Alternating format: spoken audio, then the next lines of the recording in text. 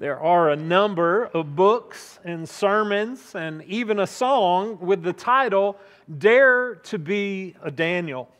Uh, they encourage us to imitate Daniel uh, because of the good example that he sets. Uh, today, I am adding one more sermon onto this pile. Uh, and today, I hope uh, that you will dare to be a Daniel.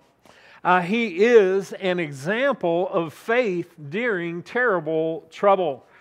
Uh, last week, we read the first few verses in chapter 1, and we read that Daniel was presented with a problem. Uh, he was uh, taken away uh, from his homeland, away from his family, forced to live uh, in uh, the court of a new king. And the king uh, had established for them some new routines that they were going to have to adopt. And one of the things that they were going to have to do was uh, uh, to eat the food that the king ate. And they were presented with, with what was a feast fit for a king uh, they were given food from the very king's, uh, from the very table of the king, and they were expected to eat it. But as Daniel and uh, others uh, possibly were, were wrestling with this, uh, they had a problem. Uh, the king's desire was that this meal, that, or not, not meal, but this, uh, uh, this food that they would eat would, be, would put them in the very best of health uh, that these were the very best of the best from the different lands that Nebuchadnezzar had captured. And as he brought them to serve in his court, he wanted to make sure that they had uh, the very best food and that they be in the very best health. But for Daniel, uh, we are going to see this morning this was not just a question of health, uh, it was also a question about holiness. Daniel chapter 1, verses 8 through 16 give us uh, how Daniel responded. What did he do when he was presented with this problem? And this morning, there are three things that I want to share with you uh, that I would like to encourage you with that we could learn from Daniel about holding on to the faith in the middle of terrible troubles.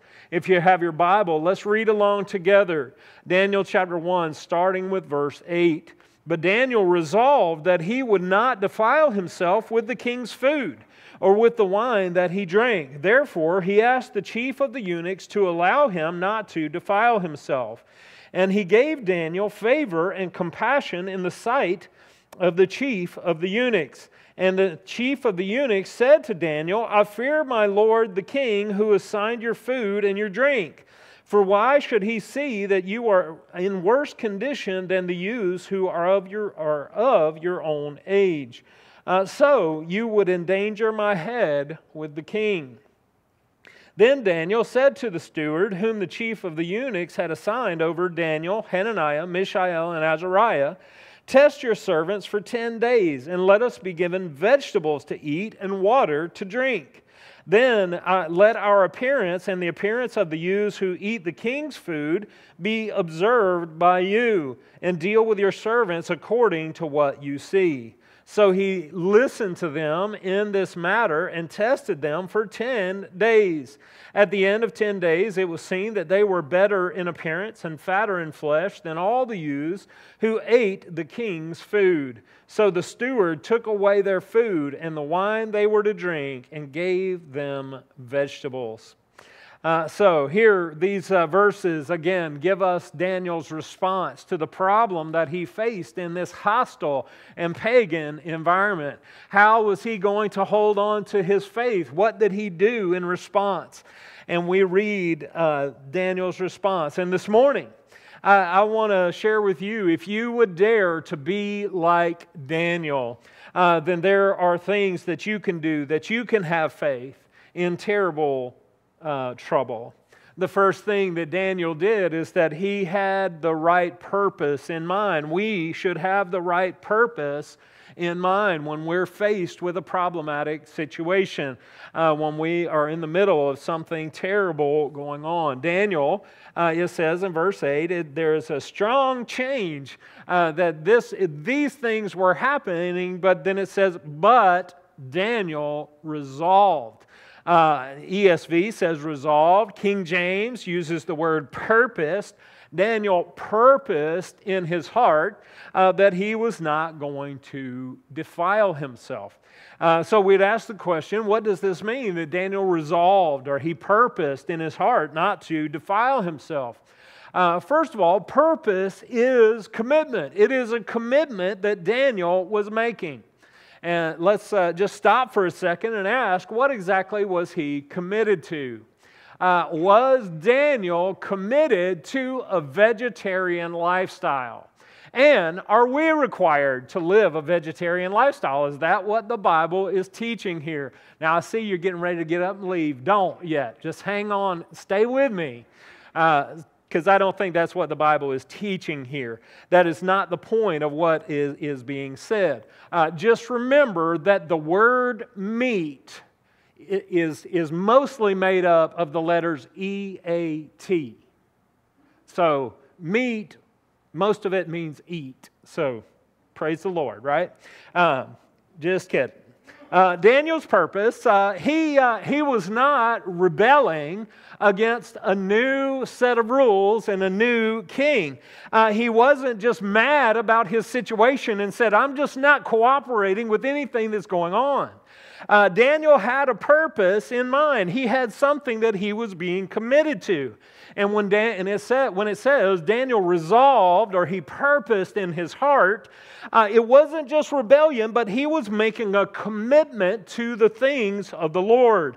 He was making a commitment uh, to avoid polluting his life.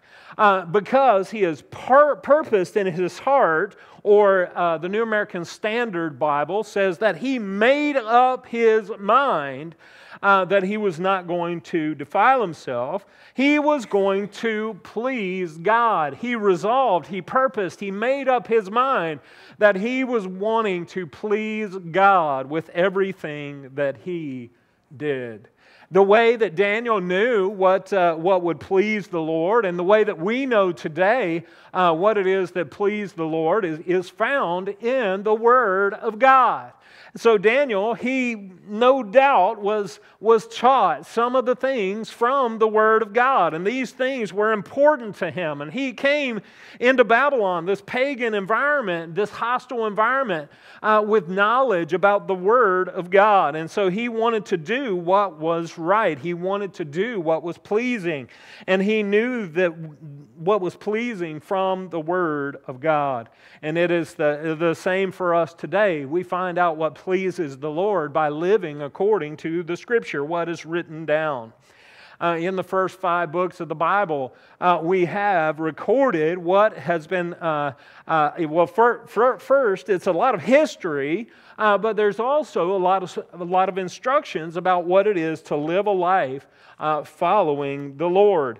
and it's called the law. The first five books of the Bible is referred to as the law it's important for us to understand today uh, that in those instructions, in that law that God had given to Moses and that every uh, Hebrew child uh, would be taught from, there were instructions in there about the kinds of food to eat and what not to eat. And there were some things that could have been going on with Daniel uh, that were a problem uh, we, we read that Daniel did have a problem with it. He, he, he didn't want to defile himself, but one thing the Bible doesn't say, one of the things the scripture doesn't say, is what exactly was problematic about it. Uh, so there has been a lot of uh, suggestions made that, that might very well be what it is uh, going on. Uh, some, of the, some of the concerns that might have uh, come up, the problems that Daniel might have faced uh, from the law, there, there are several possible reasons that this food would have been problematic. first of all, the food that they were presented with might have been unclean uh, in these instructions in the first five books of the Bible, there were, there, were, uh, there were instructions about what to eat, what not to eat. And so that means that some foods, like pork chops and catfish, uh, were not allowed on the menu. Uh, that, uh, that Hebrew children would not be eating those things as a part of a clean diet before the Lord. Uh, go and read Leviticus chapter 11. Uh, it details what, uh, what is clean and what is unclean and how, how they would understand that. But there's another thing that might be at issue. There's another thing that might be going on uh, that is problematic for Daniel. In the law, God had forbidden eating bloody meat. Uh, so even if the, the meat was from a clean animal that would have been approved to eat, if it was not prepared in a right way, where the blood was drained from the animal and it was still bloody, that that would have been unacceptable. You can read about that, Deuteronomy chapter 12, verse 23. There's one third thing that a lot of people think might have been going on with Daniel uh, there in the king's court, and it's this the food that they were presented with might have been sacrificed to idols as a part of their pagan worship. And Daniel did not want to pollute his life with pagan practices. And so, because of those things, it says Daniel purposed, he resolved, he made up his mind, he committed himself uh, not to defile himself, but to live in a way that pleases the Lord uh, this uh, commitment that he had made, this purpose uh, that he had in mind, uh, was, was a commitment, but this, com- this purpose took courage. Purpose inspired courage in his life. Uh, that, uh, that Daniel, because he held so tightly to this purpose, it led him to be courageous in his actions. So, what did he do? He, he, de- he decided uh, that he wasn't going to defile himself. He was going to uh, remain holy before the Lord. He wanted to, uh, to do this. And so he took courageous action. Uh, and uh, we uh, read verse 8. And it's, it seems when we read verse 8 that it just says that Daniel was the one who had this purpose.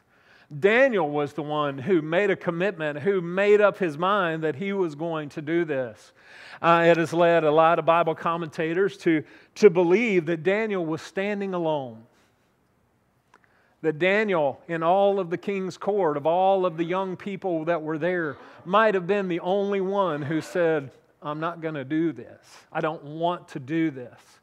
And so there he was in, in a place where uh, there, there, he might have been the only one of all these young people that decided he was not going to compromise himself. He, he might have stood alone.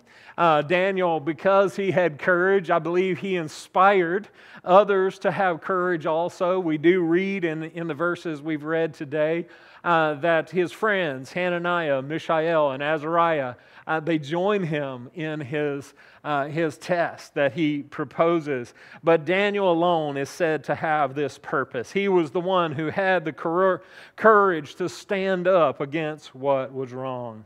Uh, we, I pray today that God would uh, give us Daniels, that He would raise up people who would hold on tightly to His purpose. I pray that God would give us Daniel, uh, Daniels who will courageously stand on the Lord's business. Uh, that Daniel, he wanted to, to do this and he uh, stood out from the crowd and he maybe stood alone to do it. Uh, but Daniel did not just hold tightly to purpose. Uh, the Bible says that Daniel related rightly to people. And we should dare to be like Daniel. Not only did Daniel have the right purpose in mind, but he wanted to uh, relate well with people. And the second point that I would make with us this morning is that when we are faced with problems in, in, a, in a system surrounded by people who are pushing us to do uh, pagan or ungodly things, uh, that, that we need to respond in a way uh, based on our convictions, but also that doesn't alienate us from the people that we are around. And Daniel did this. He, he tried to establish rapport with people. And we would do well to learn this lesson from him to establish rapport with the people that are around us. And how, how does Daniel go about doing this? Uh, does he uh, pitch a temper tantrum and say, I'm not doing this, and he slams his tray down on the ground? Does he uh, just object loudly and, and not in, in this way? Uh, and I don't think Daniel does that. Daniel tries to establish rapport uh, through showing respect. Uh, he goes to the person who was put in charge of taking care of him, the chief eunuch, uh, and he proposes uh, a, a, a, suggestion. Uh, Daniel recognized the position that the chief of eunuchs was in. And respectfully, uh, he worked within the structure that he was placed in, the government st- structure that God had given. Uh, later in the book of Daniel, we'll see that Daniel actually becomes a part of this government structure. Uh, he is put in a position of service to the king. Uh, and uh, in his interaction with the king, you, look, you pay attention of how much respect he shows for this evil and ungodly king. Uh, Daniel, he went to the chief of eunuchs to ask for permission. Uh, so, New American Standard NIV says that when Daniel went to this chief of eunuchs, that he was asking for permission. He did not go in making demands of what, what they were going to do and not going to do. He was looking for a way to, to build rapport with this person, so he goes to ask permission for an alternative diet. And apparently, this was a pretty big request uh, Daniel, when he did this, it was not like Daniel was uh, sitting down at Applebee's and the waiter comes up and says, Here's the menu. And Daniel says, You know what? Uh, can I substitute all this gross and ungodly stuff that everybody else is eating? And can you just bring me a Hebrew happy meal? Uh, I just imagine in that situation the, the chief eunuch responding the, with these words This is not Burger King, and you cannot have it your way. That would have been my imagination for how he would respond. And I, I can hear him saying that, but he doesn't actually say that. Uh, he doesn't respond with, No way you can do that. You're going to eat what everybody else eats. And if you don't like it, too bad. Uh, what uh, the request that Daniel made uh, was a big request. It was a serious request, and the, the chief of eunuchs I could very well have been like, absolutely not. You're, we're not doing that here. You're going to eat what everybody else eat. Uh, and we see in the passage that this request that Daniel made, it comes with peril. There is danger uh, in this request that Daniel made. And so not only was Daniel putting himself in place uh, to be punished or, or killed by the king because he did not want to go along with the king's plan, uh, did you pay attention to what the eunuch said? He said this He said, I fear my Lord the king, and that you would endanger my head that the eunuch said to Daniel, You know, the choice you're making and what you're asking is not only on you, it's on me. He said, I am legitimately in fear that my life could be forfeited if we don't follow the plan of the king. And so Daniel, he needed to re- realize this request came with peril, uh, that it was, uh, there was danger involved in it. Uh, and this uh, caretaker, this uh, chief eunuch, this uh, person who was primarily responsible for Daniel and all the other young people in the court, he realized that the king was going to hold him responsible for the health and the well being of every one of these young people uh, that were in his care. Uh, why? Why didn't the, the chief eunuch respond, You can't have it your way? Uh, why did he respond uh, the, the way that he did to Daniel? Uh, and, uh, and it, says, uh, it says in verse 9 that God gave Daniel favor and compassion in the sight of the chief of eunuchs. Uh, we uh, should do what Daniel did. We should seek favor from the hand of the Lord. Uh, what this uh, verse means, verse 9, it says God gave favor. Meant, the, uh, meant that he gave kindness. He gave mercy, or Daniel had kindness and mercy in the sight of the chief of eunuchs. Uh, that the, the chief of eunuchs was treating him uh, with kindness. And uh, I would just say that there are times in our lives when we see the truth of Proverbs 16 7 play out in life. Uh, and that verse says this When a man's ways please the Lord, he makes even his enemies to be at peace with him.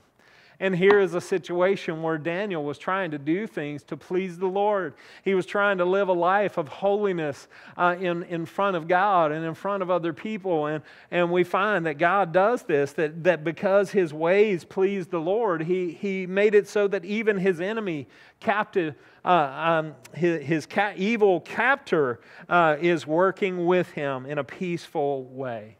Now, I do need to say, we do need to know this is not an all the time thing. There are times when there will not be peace with our enemies. And we will see later in our, and we'll see that later in our study.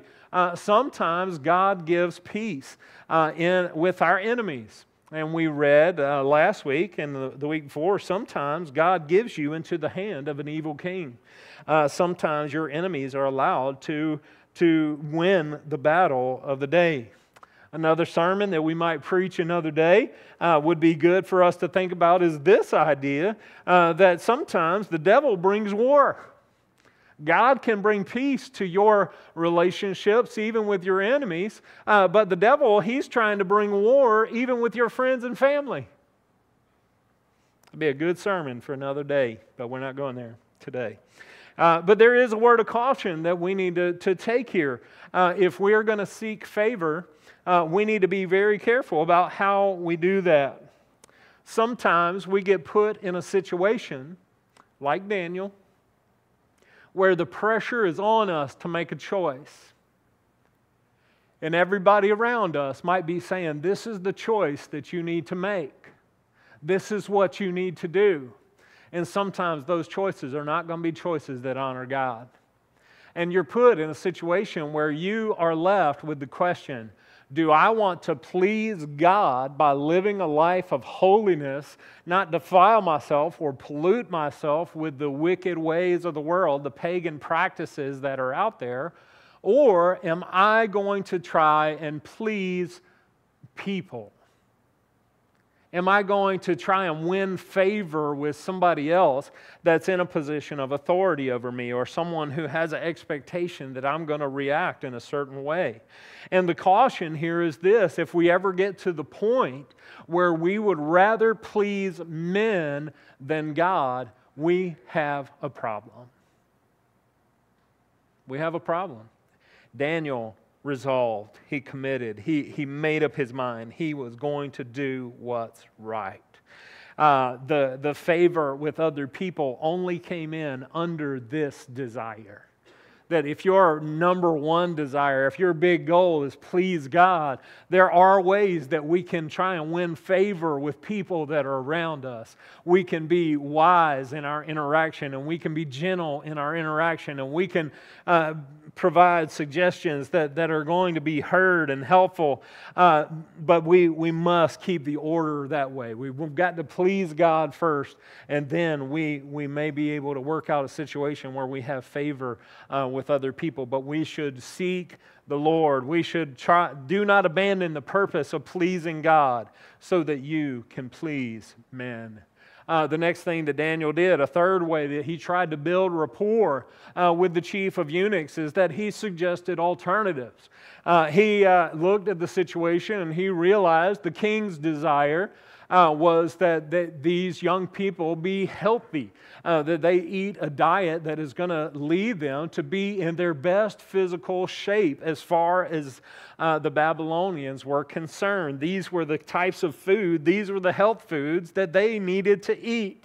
Uh, but Daniel, when he came to suggest alternatives, uh, he came in humility. He came in gentleness. He came with respect. He came with wisdom. And Daniel suggests an alternative that allows himself and his friends uh, to be healthy and holy, all the while not alienating himself from the person who was put in authority over him. Uh, this, is, uh, this is important that we, we really need people today. We need people today who are going to try in humility and wisdom and gentleness to interact with the world that is around us in a way that we can suggest some alternatives to the wicked ways and the pagan practices of the world uh, that, will, that will not alienate, and alienate us from the people that are around us. Uh, Daniel offers an, a suggestion, an alternative uh, that ends up being acceptable. Uh, that the, the, the chief of the eunuchs uh, accepts, uh, and uh, it's an alternative uh, that, that he goes along with. And in this, this passage of Scripture, there's something I want to point out. in the book of Daniel, here's the first example, and we will see others through our study. This is the first example in the book of Daniel. We are going to see that the ways and the wisdom of God are always superior to the ways and the wisdom of men. Uh, the king had an idea in his mind of what these kids needed to eat in order to be the, uh, the healthiest that they could be. Daniel suggests a, a, an alternative diet. Let us, let us eat vegetables and let us drink water. And after 10 days, you, you be the judge. You decide and, and let, us, uh, uh, let us do whatever based on your decision. And when it came down to this 10 day test to show what was the best, uh, they, the eunuch, the chief of the eunuchs, what did he find? He found that Daniel, Hananiah, Mishael, and Azariah uh, were in better in appearance and fatter in flesh than all the other people around them, all the other kids. Uh, am I the only one that finds some comfort thinking, man, it, it's good to look fat? Uh, maybe it's just me. Uh, but uh, they, the scripture says that they were, they were better in appearance and fatter in flesh. And oh, how we need the wisdom from God today about how we could suggest ways uh, that we could work within the government and, and in the relationships that we have to provide alternatives to the ungodly practices around us. We, we don't automatically need to uh, run to war. We, we can maybe work within the, the structure that is in place, the authority that's in place in our lives. Uh, we see here Daniel holds tightly to his purpose. He is committed to the Lord and he is trying to relate rightly to people. Let us be that kind of person. Let us be a person who is going to hold tightly to our purpose of pleasing the Lord no matter what goes on and help us to relate rightly to people as we go through the book of Daniel. There's going to be more to come uh, from, from Daniel, Hananiah, Mishael, and Azariah. There are going to be more situations that come up uh, where their commitment and their, their purpose to honor and please the Lord are going to be problems in the land. Uh, what ends up being uh, something that is, is good and their commitment to the Lord becomes a conflict in the land. And I want to encourage you pay attention to how they interact with the people that are around them. Uh, and so as we go through, pay, keep your eyes open to that the last thing I would talk about this morning is this is that after we have uh, tried to have the right purpose, the right commitment in mind, and after we have tried to relate rightly to people by building rapport with them, uh, the, the last thing that we need to do is that we need to uh, leave the results to the Lord. When Daniel went to the chief of eunuchs and he said, you know, we don't want to defile him, ourselves. I don't want to defile myself. Uh, let's uh, propose this test. Um, I do not know. I don't think the scripture says that Daniel had a guarantee from the Lord that everything was going to work out in this test. I don't think that God told Daniel, He said, if you do this, I will make sure that you're uh, better in appearance and fatter than fle- in the flesh than all the other people. I, I don't know that Daniel had that guarantee. So, if, if that is the truth, that he didn't have a guarantee, uh, and the scripture does not say that he had gotten a, a, revelation from the Lord, that in trying to carry out this test, there was a point in Daniel's life where he had to hand it over to the Lord and just wait and see. We don't know what the Lord is going to do, but we have to wait. We have to see what His plans are. Man, it would be so nice to have a guarantee of what things are going to happen in our life, to know that the struggle we're in right now is going to be over in just a few days, to know that the problems we face right now aren't going to be a big problem next week or next month. But we do not have guarantees about the future. We have to leave the results to the Lord. We have to trust that the Lord is at work in the situations that we face. In Daniel, when he proposed this test, again, he was waiting to see what the Lord that would do. And we would, we would take away from that, we would say that there will be risks that we need to take in the faith. We do not have guarantees that if we try and live a life that's pleasing to the Lord, uh, that doesn't automatically mean that we're going to get all the results that Daniel, Hananiah, Mishael, and Azariah got.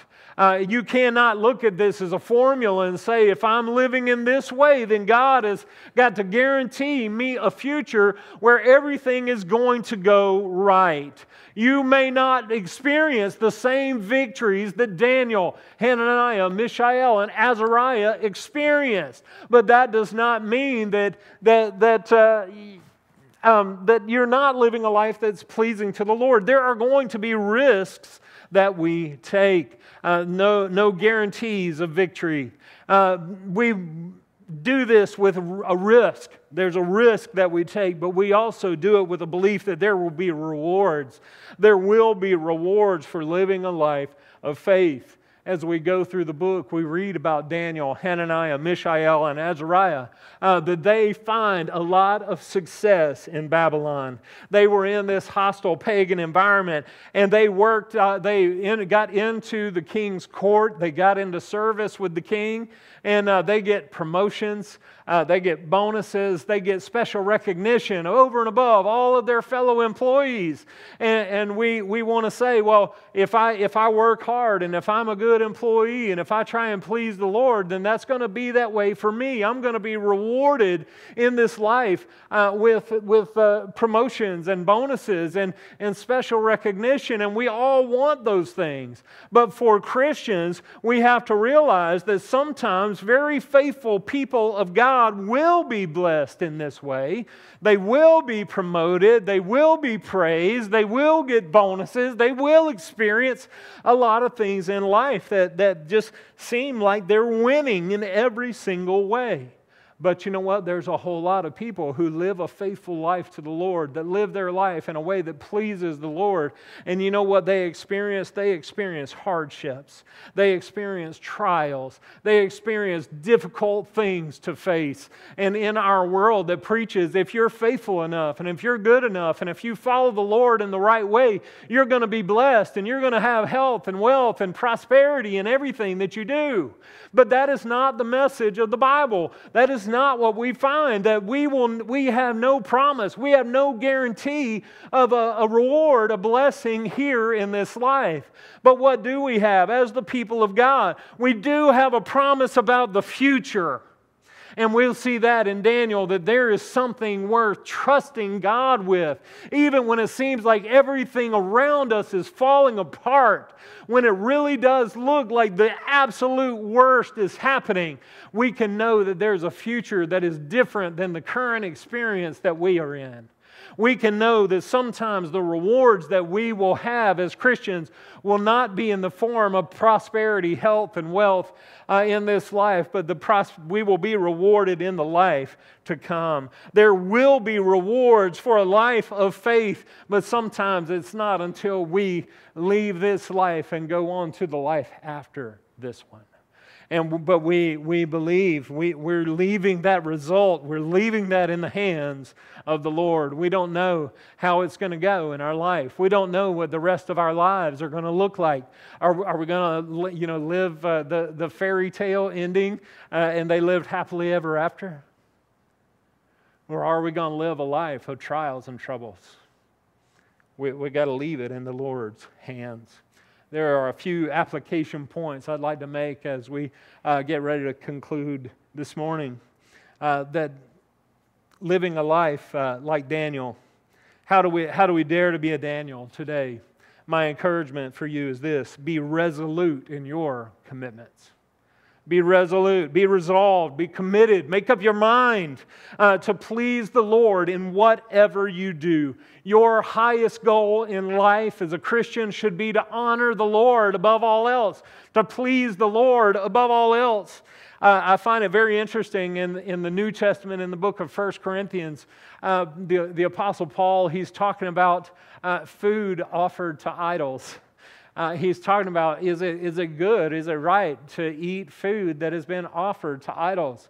And, and one of the things that he says uh, in the context of this chapter is this verse Whether you eat or drink, do all to the glory of God. And we, we would say that, that that would carry over into other areas of life. Whatever you do, Make sure that you are doing it for God's glory, that you do it to the glory of God. Be resolute in your commitment that whatever you do, wherever you are, whoever is around, whatever the circumstances, you are going to do all you can do for the glory of God. Daniel had the specific concern of being defiled, and this was in relation to food that was unclean or clean. And uh, while we are free from the dietary restrictions of the Old Testament law, we are not free from the moral restrictions of the law. The moral restrictions of the law are still in place, and it is God's standard for holiness. And so, if you are going to make a commitment to do the things that please the Lord, you are going to find that in the pages of this book. You're not going to be able to pray and say, Well, I prayed about it and I feel like it's okay if I go and do this. When there's a clear command in Scripture that says no. It's through the pages of this book that we know what is pleasing and honoring to the Lord. True for Daniel, true for us today. Be resolute, be respectful. You know, we live in, a, in an increasingly evil world. We, we live in a, in a political time, this being an election year, uh, where there's a whole lot of rhetoric. There's a whole lot of uh, hate mongering and there's a lot of fear mongering that are going on uh, related to this election season that we are entering in. And I think there's a lesson to be learned from Daniel that we need to be respectful with the people that are around us. Uh, we're not going to win arguments because we yell louder and longer than the people around us. What is going to win the argument? What is, well, how are we going to win people? It is going to be through the wisdom of God, spoken uh, with love in mind. And I want to encourage you to be respectful. And then the last thing I want to encourage you is this be ready. Be ready. We don't know. We don't know what God's going to do. We don't know how it's going to go, but we do trust Him. We know that He is a good God and that He does good things. And so we need to be in a situation where we, as we are living our life in a way that tries to please Him and honor Him, and we're trying to be respectful to the people around us, we need to be ready for what God is going to do. Live your life to please the Lord and trust Him in the details of how that is going to play out, and you watch Him as He works works. You see what He does with the, the situations that you're in. Be ready for what God is doing in your life. I want to challenge you, to dare you to be a Daniel. Let's pray. God, our Heavenly Father, Lord, we come to you this morning, and Lord, we uh, read your word and we study your word. And Lord, there is so much here that helps us, that guides us, that, uh, Lord, we can learn from history and we can learn from your commandments and we can learn from uh, all of these things about what, what uh, a life that pleases you looks like. God, I pray that you would give us the boldness of belief that Daniel had. Lord, when we think about being like Daniel, Lord, I know it's tempting to want the, the victories that he wins to get the promotions that he has, to have the special recognition that he has.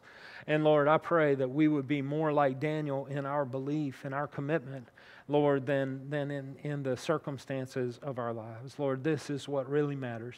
Lord, to be committed to your purpose. And so we ask uh, that we would be people who would do that. And we pray these things today in Jesus' name. Amen.